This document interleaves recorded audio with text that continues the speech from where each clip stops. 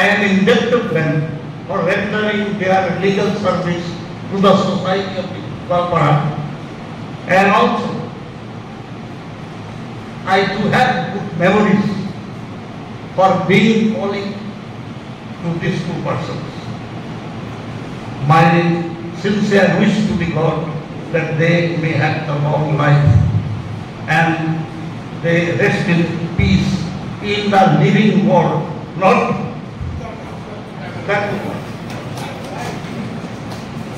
So, I am thankful to everybody, Mr. President, thankful to the senior members who have delivered very nice speech.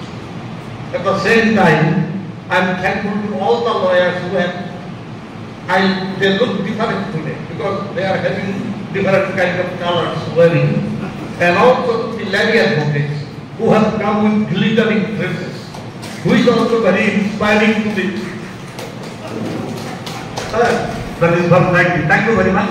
And also, I must appreciate the present committee led by Mr. Pritam Das for giving a magnificent building.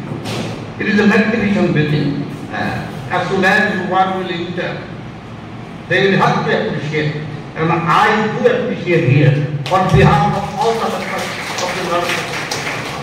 Thank you. Thank you.